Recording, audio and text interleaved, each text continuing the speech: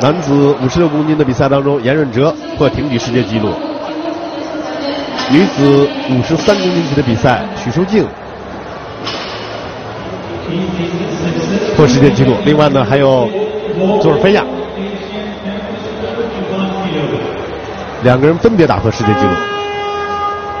那么严润哲刚才的第二把已经打破了亚运会纪录，第三把一百五十四公斤，没问没错。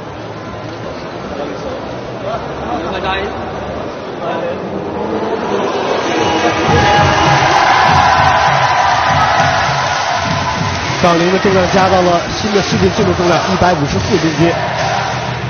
严润哲，我们看看他能不能在今天再一次打破世界纪录。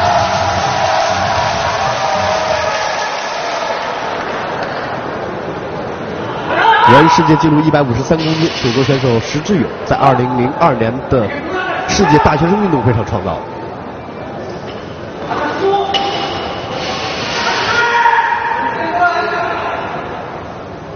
哇，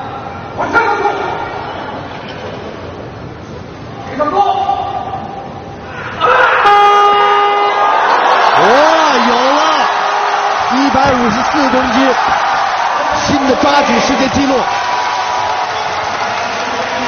朝鲜的金仁国三次出手三把成功，两破纪录。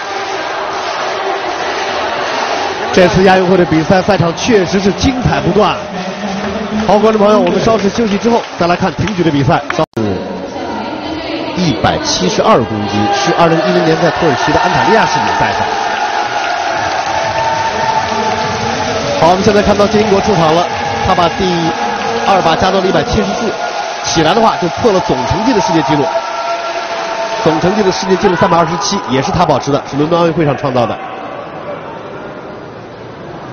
这一把起来的话，就破了两项世界纪录。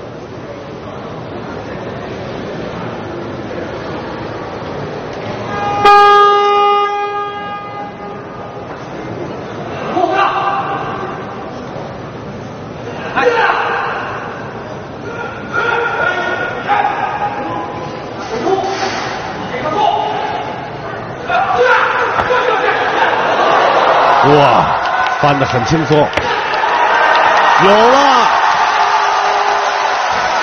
一百七十四公斤成功。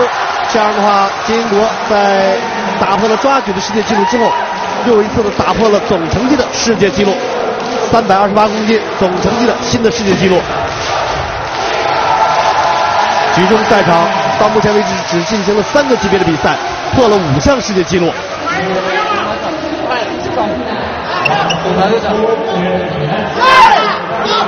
最后一把了，他会怎么样呢？会不会去挑战一下